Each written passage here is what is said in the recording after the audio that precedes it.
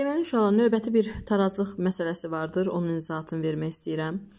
Yenə də 11 dördlərdən izahat istəyən var. Onun üçün məhz çəkirəm videonu və YouTube-a da yerləşdirəcəm.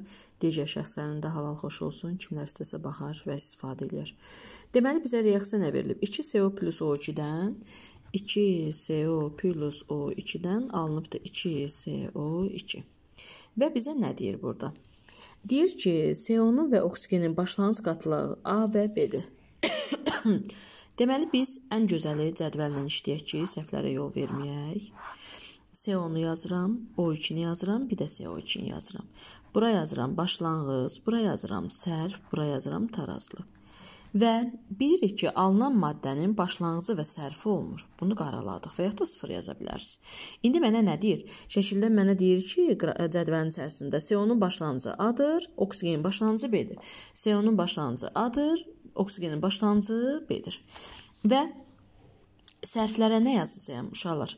İndi diqqət eləyək. Mənə hələ onu yazmamışdan qabaq mənə deyir ki, reaksiya maddələrinin tarazlıq qatılıqları nisbəti 2-nin 1-ə 2-yə kimidir. Deməli bunların tarazlıq qatılıqları. İndi mən əgər sərfə baxıramsa, sərf əmsalları qədər həmişə sərf olunma və alınan da əmsalı qədər alınacaq. Onda mən bura 2x yazıramsa, seviyə baxın 2x. Bu 2x-dirsə, bu nə olacaq? x, bu da 2x alınacaq. Bu x, bu da 2x alınacaq. Mənə deyir ki, tarazlıq qatılıqları nisbəti əmsalların ə, nisbəti 2-nin 1-ə 2 kimidir. 2, 1, 2 kimidir. Yenə elə 2x budur. Çünki 2-nin 1-ə 2 kimidirsə, CO, O2, CO2. Baxıram ki, elə əmsalların nisbəti kimi verib. 2, 1, 2. Onda elə mən yenə nə yazaram? 2x CO yazaram, x oksigeni yazaram, CO2-yə də 2x gedəcək. Və bu reaksiyanın tarazlıq sabiti 0,25-ə bərabərdir. Gəlin baxaq görə bu reaksiyanın tarazlıq sabitini tapanda K nəyə bərabərdir? CO2-nin kvadratı bölünsün CO kvadratı vurulsun O2 və bizə qatılıqlardan söhbət getdiyinə görə həcm verməyə ehtiyac yoxdur. Və tarazı sabiti 0,25 bərabərdir. CO2-nin tarazlıq qatılığı 2x-in kvadratı olacaq 4x kvadratı. CO-nun kvadratı 4x kvadratı vurulsun oksigenin qatılığı x. Aha, burada 4x kvadratları gedir. 0,125x bərabərdir 1-ə, x də bərabərdir nəyə? 4-ə. Gətirib burada 4-ü yerinə qoyanda 2-ni vurduq 4-ə neçə elədi? 8. Tutaq ki, burada 4-ü yerinə qoyanda 4. Burada 2x-dir deyə 8. İndi mənə nə deyir? Deyir, A üstə gələk B-nin cəmini tapın. Və mən x-i tapmışam ha 4. Düzdürmü? Gətirib burada 4-ü yazıram. 4 ilə 4-ü toplayıram. B nə çıxır? 8.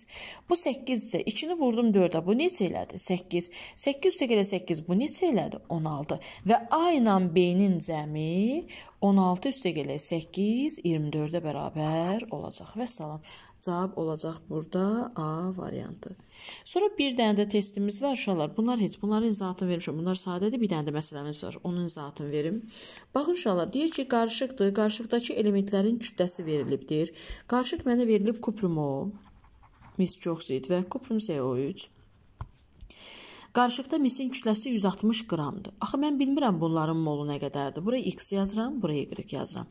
Və bu qarışıqda cəmi 160 qram mis var. Necə taparam? 64-ü vuraram x-a, 64x. Üstə gələ 64-ü vuraram y-a, 64y bərabərdir 160 qrama. Aha, bu oldu misin kütləsi. İndi oksigenin kütləsi isə bu birləşmədə cəmi 56 qrama bərabərdir. Burada oksigenin kütləsini necə taparam? 16-nı vuraram x-a, 16x. Üstə gələ 16-nı vurdumsa vurdum y-ə. 48y bərabərdir 56-ya. İndi mən baxıram, bu sistem tənliyi həll etməliyəm.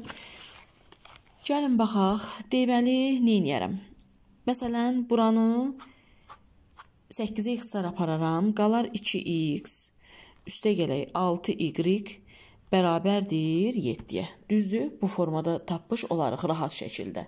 Və ardınca da buranı da məsələn 160-ı bizə dəqiqə bölək Aha, 160-ı, məsələn, bu tərəfi bölərəm nəyə?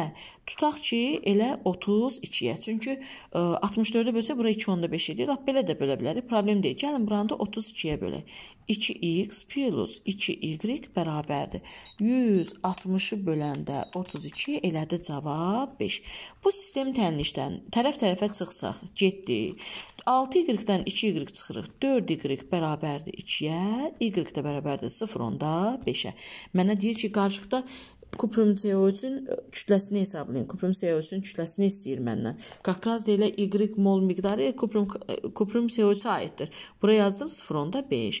Deməli 0.5 mol kuprum CO3-ün kütləsi nə qədər olacaq? 0.5 vurulsun 64, üstəgələ 12, üstəgələ 16 vurulsun 3. Cəmini vuracağıq 0.5-ə. Bu da bizim aldığımız kütlədir. Vəssalam.